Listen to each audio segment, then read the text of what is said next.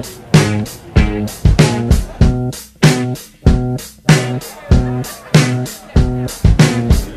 turn my camera on. I cut my fingers on the way.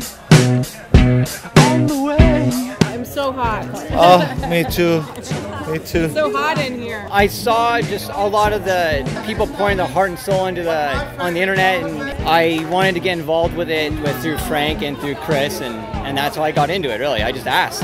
So, on behalf of 48, I'd really like to take this moment to thank Sony um, for the 48 film project, and also I'd like to thank uh, Magnus Capital as well. We got a hundred grant for the top winners. Uh, this year, our great winner is from Italy. Of course, I'm Marco Santi, and the film name is uh, Clara. So what are you going to do with the grand prize money?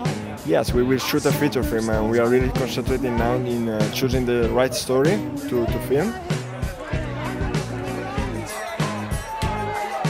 What a beautiful, magical night to be in Hollywood. If you're here, you're a winner, no matter what is happening. I love it. The filmmakers who are being recognized tonight, they represent a new generation of talents. They were able to, we were able to make their names known tonight because of the 48 Film Festival.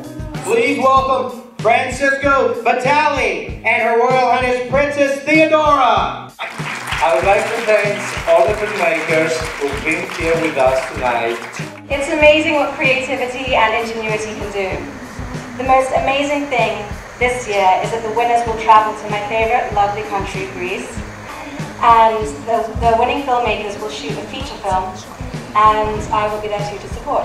Oh, is that on video? I'm sorry. That'll be great. So the 48 Film Festival issues filmmakers the ultimate challenge, which is to create an entire short film in two short days. So all they need is an internet connection, a passion for film, and an enormous amount of talent. So I want to introduce the year's best films selection for the 48 Film Festival.